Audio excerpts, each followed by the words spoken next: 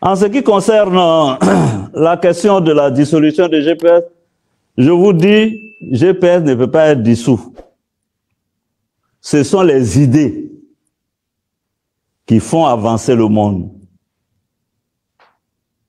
Donc, restez serein parce que GPS doit être logé dans le cœur des Ivoiriens. On va quand même pas aller opérer tous les Ivoiriens pour enlever leur cœur et puis retirer GPS de leur cœur. Le travail que vous devez faire au quotidien, c'est de sillonner les campagnes, les hameaux, les villages, pour que tous les hameaux soient pourvus d'un responsable GPS.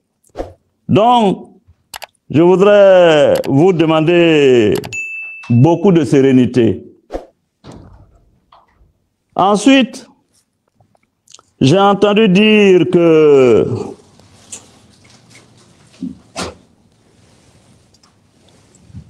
les gens nous accusaient, c'est quand la fin de notre exil.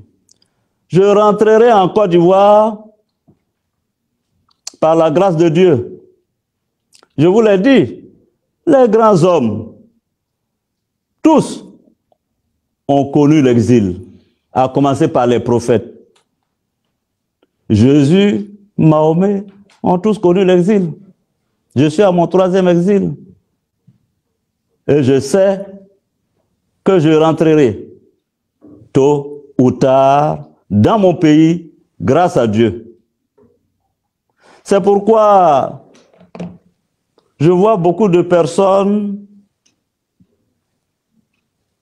bavarder.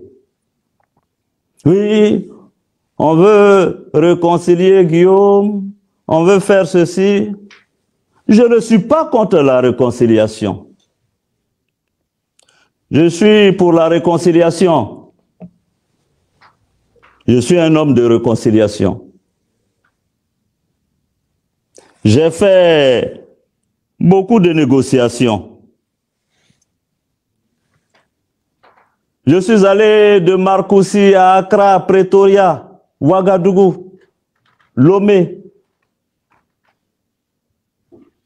pour rechercher la paix pour la Côte d'Ivoire.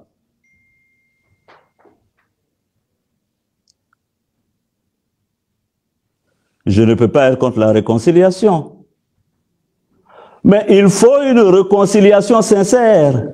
Quelle est cette réconciliation qu'on nous propose lorsque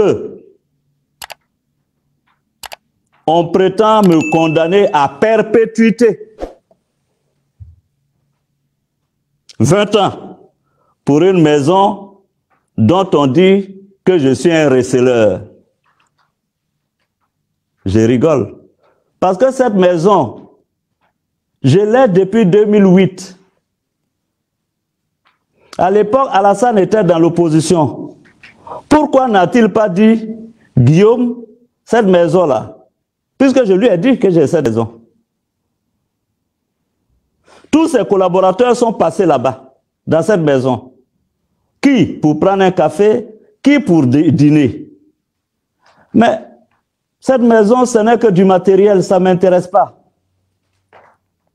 Si Dieu veut, j'aurai d'autres maisons. Mais ce qui, ce que je regrette dans ce que Alassane fait,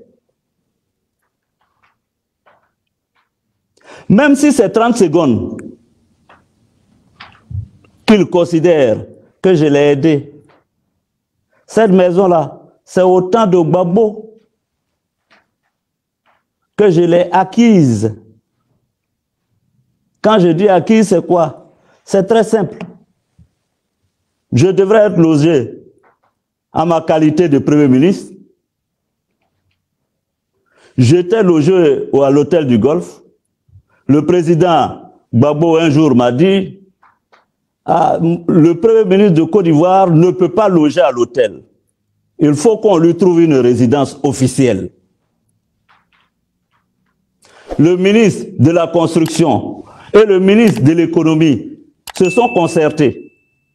On devait me donner la maison à la corniche là, l'ancienne maison où le président Bédier logeait.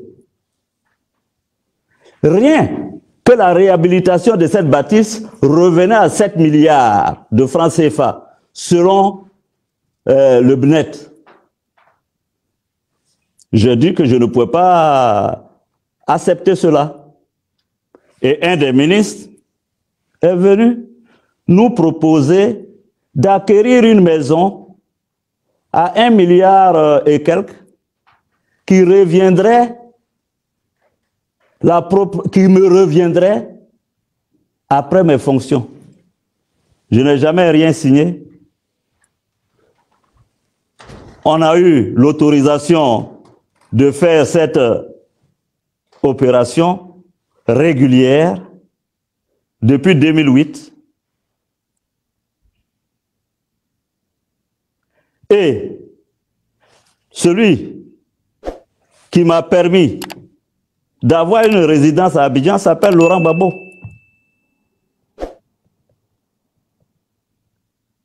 Et celui qui vient me l'arracher s'appelle Alassane Ouattara.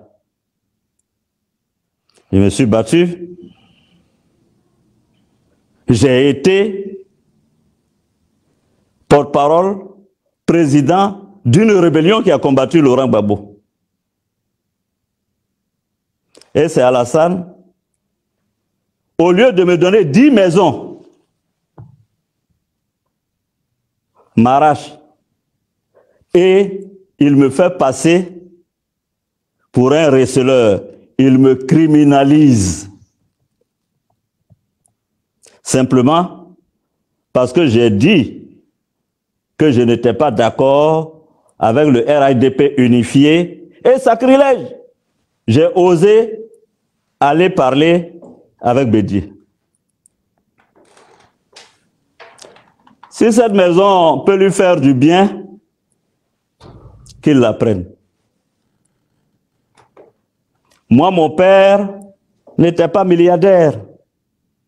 J'ai dormi dans la case au village. J'aurais toujours une case pour dormir. Mais je vous fais remarquer que ce n'est pas Babo qui m'a arraché maison, hein? c'est Alassane. On me dit, Monsieur Soro, oui, vous avez insulté Alassane, vous avez, euh, euh, comment on appelle, été euh, impoli avec... Qu'est-ce que je n'ai pas entendu? Ah bon? J'ai été impoli à Alassane, j'ai mal parlé à Alassane, c'est ce qui justifie qu'il demande à la justice de me condamner à perpétuité, qu'il demande qu'on m'arrache une maison et qu'on me condamne à 20 ans. Franchement. Donc, qu'est-ce que Babo aurait dû me faire alors? Lui contre qui on a pris les armes? Vous savez, je vais vous parler du pardon. Le pardon est divin. Il est hautement spirituel. Moi où je suis, j'ai pardonné à tous ceux qui m'ont fait du tort. Tous ceux qui se sont battus pour qu'on m'exile. Tous ceux qui ont monté des petits complots pour qu'on me tue. Tous ceux qui ont envoyé des policiers dans mes chambres d'hôtel pour m'arrêter. Tous ceux qui, par la haine, ont pris mes amis, mes compagnons pour les mettre en prison, prendre mes jeunes frères qui n'ont rien à voir avec la politique, les mettre en prison. Je leur pardonne. Je n'en veux pas, Alassane c'est son pouvoir. Je ne lui en veux pas. Mais voyez-vous, ce qui différencie les hommes, les grands hommes d'État, les grands hommes politiques, c'est leur capacité à dépasser la haine et à pardonner. Je vais vous donner trois exemples. Quand nous étions allés à Lomé pour les négociations avec le président d'alors, Feu, Étienne Nyasingbe et Yadema, vous pourrez demander à ma délégation. Il nous racontait une anecdote. Tout le monde disait que Yadema est un dictateur, il est tout ce que vous voulez. Même M. Yadema décrit comme dictateur. Il nous racontait une histoire, une anecdote. Il dit un jour que lorsqu'il passait les troupes qu'il faisait la revue des troupes militaires, un soldat s'est décalé et l'a fusillé. La balle a effleuré son doigt, a ricoché. Et sa garde voulait automatiquement réagir et exécuter le soldat qui a fait le tir mortel contre lui. Et il y a demandé de nous dire non. Je leur ai dit non, non, non, ne le, ne, le tuez pas. Prenez-le. On va savoir qui est derrière lui. Et quelques jours après, il a fait venir le, soldat chez lui à la maison. Et lui a dit, mais je vais te radier de l'armée. Tu sais pourquoi je vais te radier de l'armée? Parce que tu es un mauvais tireur. Comment as-tu pu tirer sur moi? À une telle distance et tu m'as raté Et Adema ne l'a pas radié parce qu'il a tiré sur lui, mais parce qu'il est mauvais tireur. Il dit, mais tu as fait ta formation où? Et puis tu tires mal tu gâtes le nom de l'armée togolaise. Vous voyez comment c'est beau, le pardon. Il dit quelques mois après, il a fait venir le soldat et sa famille. Non seulement il lui a pardonné, on l'a repris dans l'armée, et ce soldat-là, il lui a même fait le privilège de le mettre dans sa garde rapprochée. Et il m'a dit, mon fils, Guillaume, il n'y avait pas plus loyal et fidèle que celui-là, celui qui a tenté de me tuer. Moi, Alassane dit, ou du moins ses proches disent, qu'eux, ils sont allés dormir. Ils ont rêvé, et dans leur rêve-là, ils ont découvert que moi, dans ma tête, il y a un coup d'État, c'est pourquoi il faut qu'on me condamne à perpétuité. Voilà. Mais prenons un autre exemple. Le pape Jean-Paul II. Quand on parle du pardon, le pape Jean-Paul II a reçu des balles de Ali Aksa, un Turc. C'est-à-dire, quand on est un grand homme, quand on aspire à diriger les hommes, il faut avoir une grande capacité de pardon, d'élévation spirituelle. Le pape Jean-Paul II, après sa convalescence, a reçu Ali Aksa. Il n'a pas fait que le recevoir et lui pardonner. Il a même prié pour lui. C'est ça, le pardon. Mais je continue. Nelson Mandela dont on parle, j'ai apprécié une phrase magnifique, sublime, et une phrase pleine d'enseignement pour les hommes politiques africains de ces dernières générations. Le jour où on a libéré Nelson Mandela de prison, un journaliste quelque peu audacieux lui a posé la question, mais monsieur Mandela, Vous venez de passer 27 ans en prison.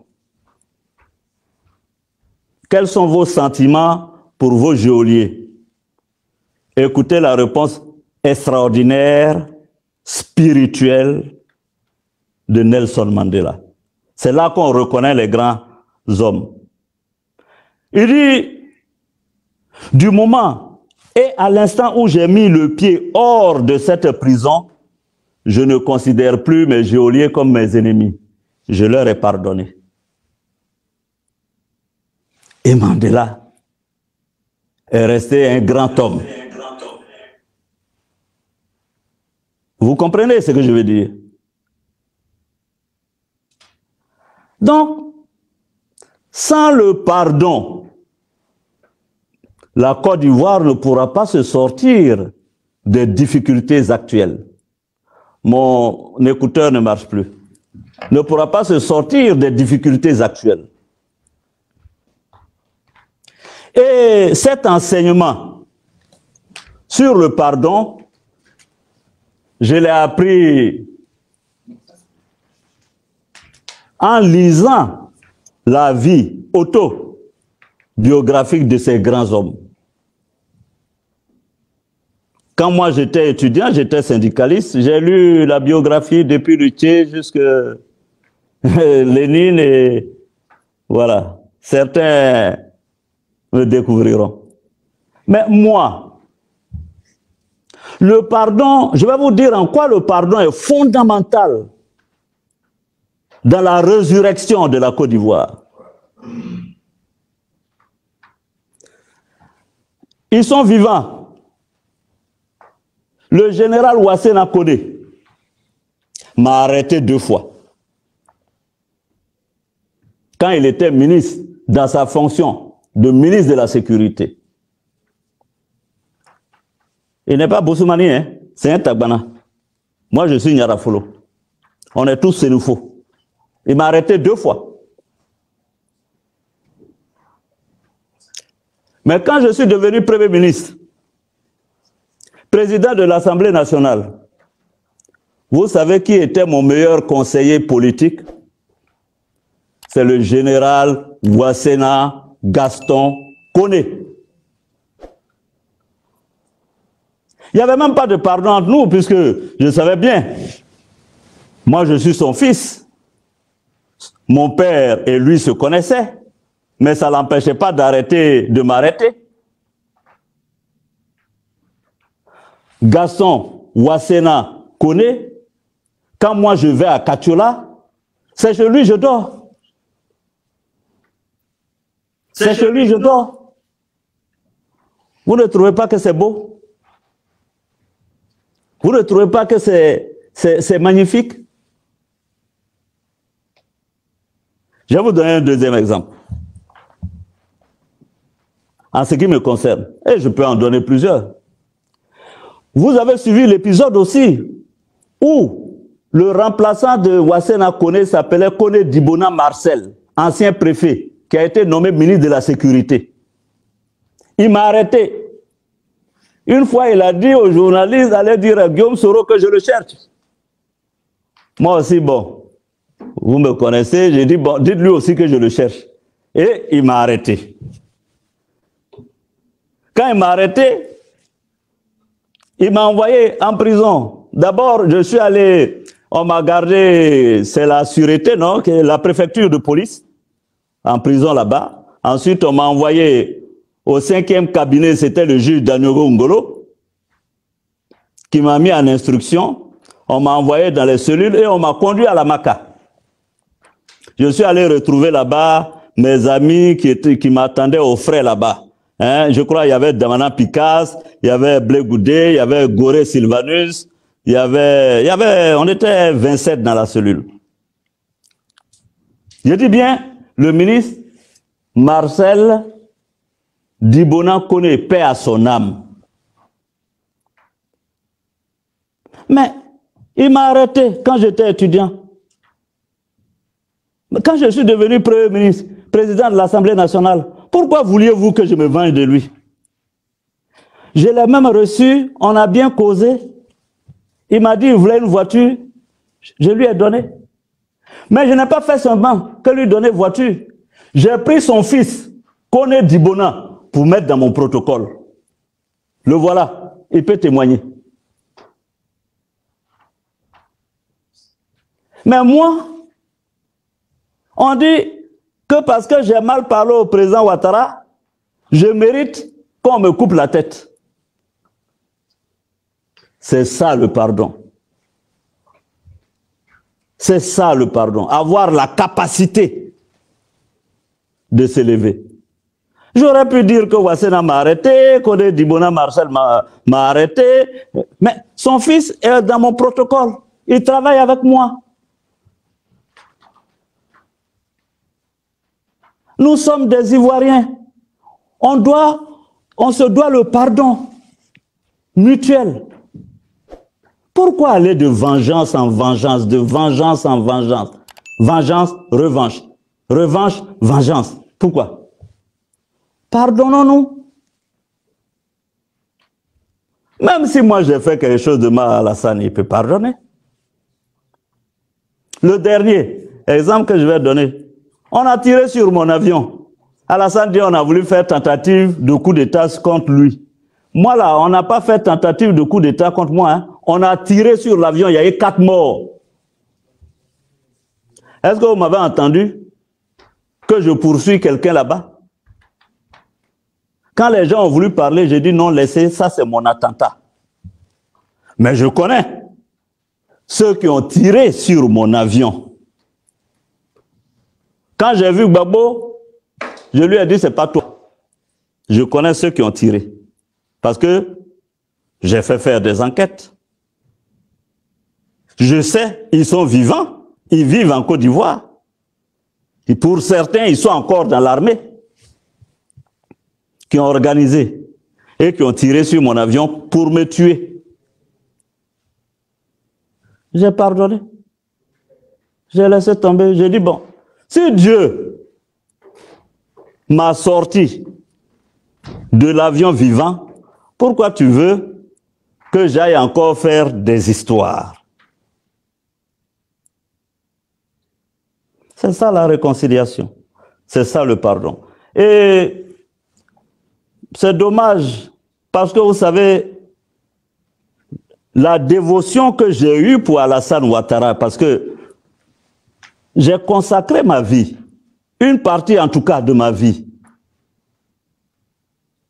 parce que j'ai cru fondamentalement à Alassane Ouattara. Malheureusement, bon, pourquoi n'y a-t-il personne pour lui dire, président, ce que tu fais, c'est pas bon? Ça va pas arranger la Côte d'Ivoire. Quand tu dis ça, on dit tu es contre Alassane.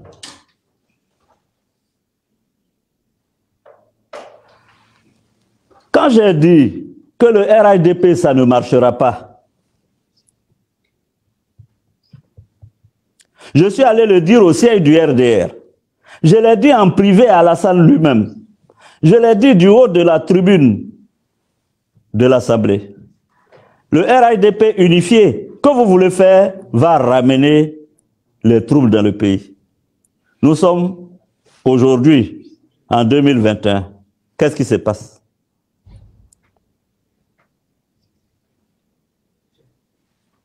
Est-ce que ça a ramené la paix en Côte d'Ivoire?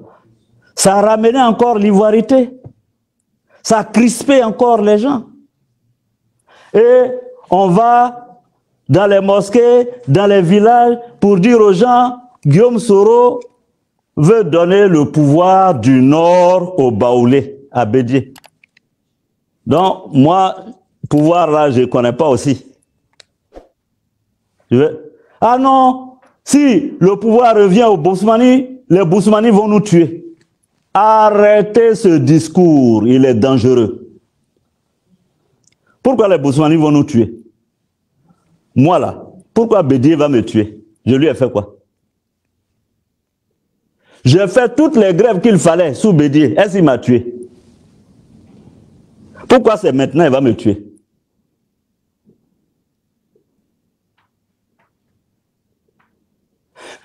J'ai dit, j'ai fait toutes les grèves sous Bédier là. Pourquoi il m'a pas tué?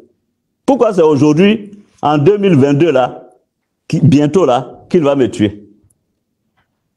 J'ai pris les armes contre Laurent Gbagbo Pourquoi il m'a pas tué? Pourquoi c'est maintenant Gbagbo va me tuer? Arrêtons de mentir et de monter les populations ivoiriennes les unes contre les autres. Pourquoi? Il va me tuer. Moi, simplement, je sais que j'ai connu plusieurs présidents. J'ai connu Oufoué. Je ne l'ai jamais vu vis-à-vis, mais je l'ai vu à la télévision. J'étais trop jeune. Bédier, je l'ai vu vis-à-vis. Babo, je l'ai vu vis-à-vis. Alassane Ouattara, je l'ai vu vis-à-vis. Parmi les trois là, que j'ai connus vis-à-vis là, le seul qui m'a donné perpétuité là, s'appelle Alassane. De mentir. De mentir que Bédier m'a donné perpétuité.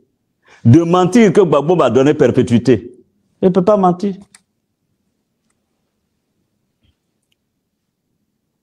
Je ne peux pas mentir.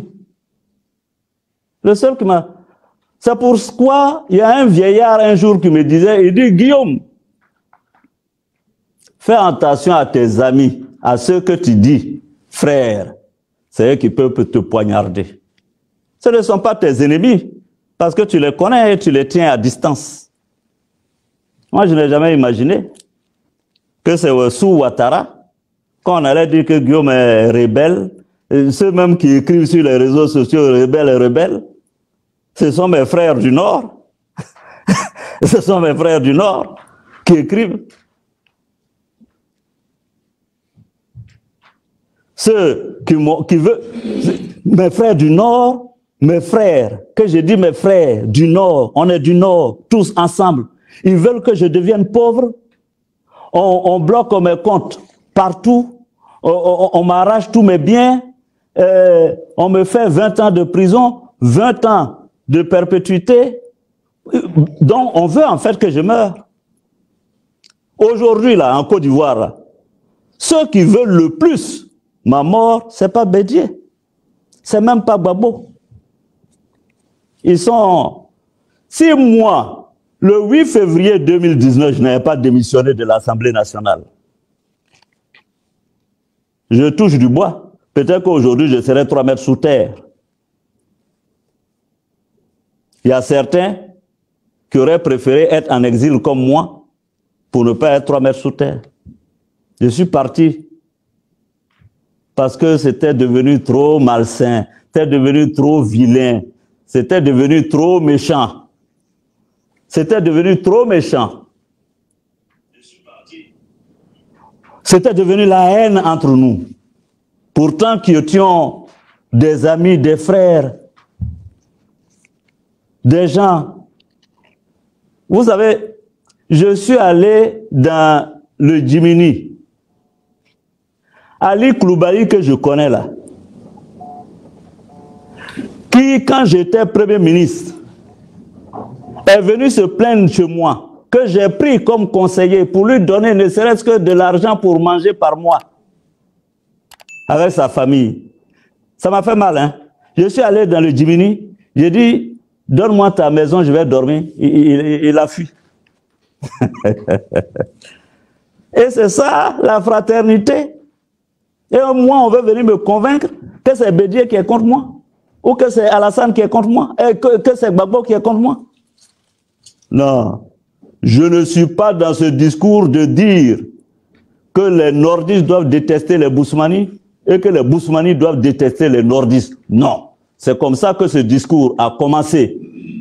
Au Rwanda, on dit les Tutsis veulent tuer les Hutus, les Hutus veulent tuer les Tutsis. Ça donnait un million de morts. Arrêtons ça. Nous sommes tous frères, du nord au sud, de l'est à l'ouest, en passant par le centre. Nous devons cultiver l'amour, la fraternité. Alors, il y a eu une autre question sur laquelle je m'en voudrais de ne pas revenir. On dit, ah oui, Soro, il y a plein de défections autour de toi, les gens s'en vont, etc., etc. Je vais vous dire, GPS là, ce n'est pas une secte.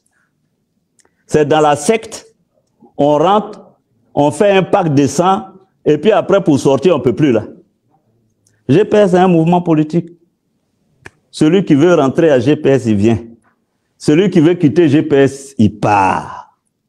Ce n'est pas un problème.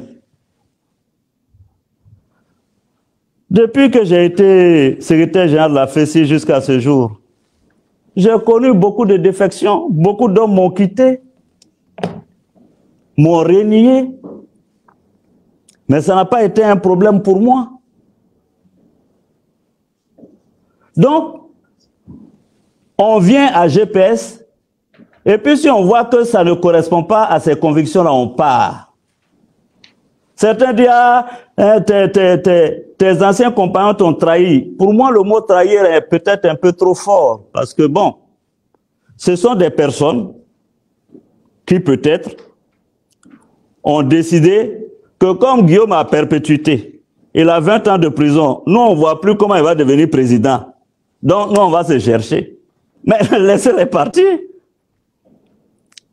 Pourquoi, euh, pourquoi vous vous fâchez? C'est Dieu qui dessine le destin de chacun. Donc, il y a des gens parmi eux, mais c'est que ce qui me chagrine, ce qui me chagrine, c'est que dans ceux qui m'ont quitté et qui ont quitté le GPS, il y a deux groupes. Parce que quand tu veux quitter le GPS, quand tu veux quitter Guillaume Soro, sois honnête, Dis, tu t'en vas, on se serre la main, merci mon ami, on a cheminé un kilomètre ensemble, allez, au revoir, bonne chance, bonne chance, on se quitte dans des termes incroyablement magnifiques. Mais il y en a qui sont maléfiques. Sinon, plusieurs personnes m'ont quitté et j'ai du respect pour ceux qui m'ont quitté dans la dignité. Il y a un député, il s'appelle Sidibé Berry, du Folon. Il m'a appelé. Il est venu me voir à la maison. On n'avait même pas encore créé le GPS. Il m'a dit, Président, tu connais toute l'affection que j'ai pour toi. Tu sais que je ne peux pas te trahir, mais je suis face à un cas de conscience. Mon village s'est réuni, dont le chef de village, mes parents, pour me dire de te quitter. Président, je n'ai pas la force de résister à cette pression. Je suis venu te le dire. Ils m'ont demandé de retourner au RHDP. Je lui ai dit, Berry, je te remercie pour la considération. Et je garderai de toi l'image d'un homme honnête. Vas-y au RAIDP, un temps viendra, on se retrouvera. Un homme comme ça là, je le respecte, il est parti dignement, il n'a jamais, euh, il m'a jamais insulté. Est-ce que vous avez une fois entendu que je l'ai invectivé? Je vais vous donner un deuxième. Konaté Sidiki. J'espère que ça n'a pas lui créé de problème si je dis son nom. Mais comme je suis obligé de dire la vérité, je vais le dire. Je, vais la dire, pardon. Quand Konaté devait rentrer au gouvernement d'Amadougon, quand Amadougon l'a appelé, paix à son âme, à mon aîné Amadougon, Kloubali, il m'a appelé, j'étais au Canada. Il m'a dit, ah, patron, c'est comme ça à l'époque il m'appelait. Le Premier ministre Amadougon vient de m'appeler, il veut que j'aille le voir. Qu'est-ce que tu me conseilles? J'ai dit, mais c'est le Premier ministre de la République de Côte d'Ivoire. Va le voir, tu l'écoutes, et puis, bon, on verra. Konaté est parti. Quand il a fini de voir le ministre, euh, le Premier ministre Amadougon, il est sorti. Il m'a appelé. Il dit, ah, on vient de me proposer tel poste. Qu'est-ce que tu en penses? Je lui ai dit, non, Konaté. Il y a des questions sur lesquelles on doit décider seul. C'est à toi de décider.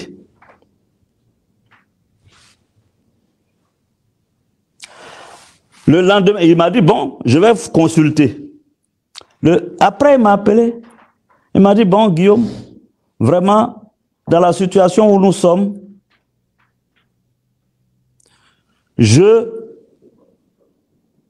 pense qu'il faut, qu'on accepte d'aller au gouvernement. J'ai dit, Konaté, à partir du moment où ta réflexion aboutit à ça, je respecte. Vas-y. Après, il m'a appelé une seconde fois pour dire que le président Ouattara demandait qu'on mette nos noms dans liste créateur des fondateurs de RIDP. J'ai dit, Konaté, moi, je ne crois pas au RIDP. Il m'a dit, bon, il a essayé de me convaincre, je ne vais pas rentrer dans les détails. Bon, mais il l'a fait avec la manière, la considération. Un monsieur comme ça, là, je le respecte. Je sais qu'on lui a fait toutes les pressions pour qu'il m'insulte tous les jours. Mais Konaté et moi, on se connaît depuis l'université. Quand il était à la section de Yopougon, Strike, et que moi j'étais euh, à Vridi. Est-ce que vous m'avez une fois entendu invectiver Konaté Sidiki? Non. Mais quand quelqu'un te quitte,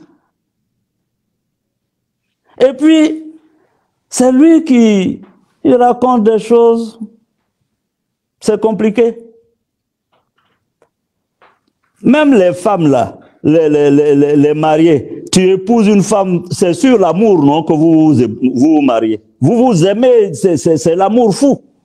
Mais il arrive que vous divorciez. Mais quand tu divorces avec ta femme, c'est pas la peine d'aller l'étaler dehors. Donc, ceux qui nous ont quittés, laissez-les. Priez même pour eux. Que Dieu les bénisse. Que ce qu'ils cherchent dans leur vie là, qu'ils aient ça. Nous là, ils n'ont qu'à nous laisser. On va faire notre petite marche là doucement, doucement, doucement, doucement. Je vous avais prévenu que beaucoup allaient nous quitter. Que beaucoup allaient nous quitter.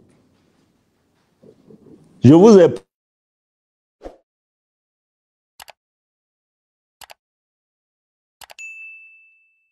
Même si nous restons 10, nous allons continuer la marche. Donc, moi, il n'y a aucun problème.